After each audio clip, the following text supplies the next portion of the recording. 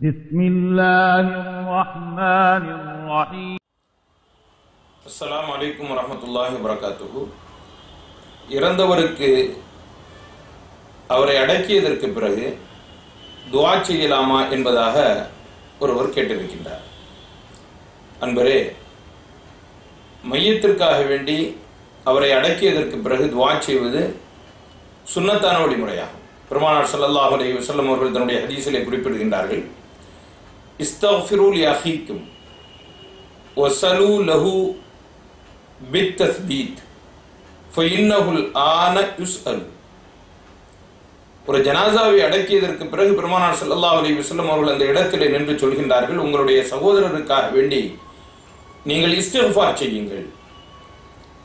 அவர் தன்னிடத்திலே கேள்வி கணக்கு கேட்கப்படும் பொழுது உறுதியாக இருக்க வேண்டும் என்பதை அல்லாஹ்விடத்திலே கேளுங்கள்.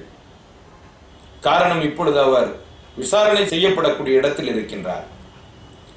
விசாரிக்கப்பட்டு கொண்டிருக்கின்றார். இந்த நேரத்திலே அவருக்காக வேண்டி நீங்கள் அல்லாஹ்விடத்திலே துவா செய்யுங்கள். இந்த துவா அல்லாஹ்விடத்திலே ஏற்றுக்கொள்ளப்படும்.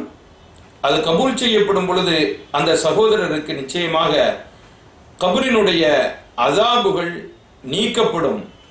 இதை உறுதி கொண்டு நாம் அவருக்காக வேண்டி துவா செய்வது சுண்ணத்தான ஒரு காரியம்?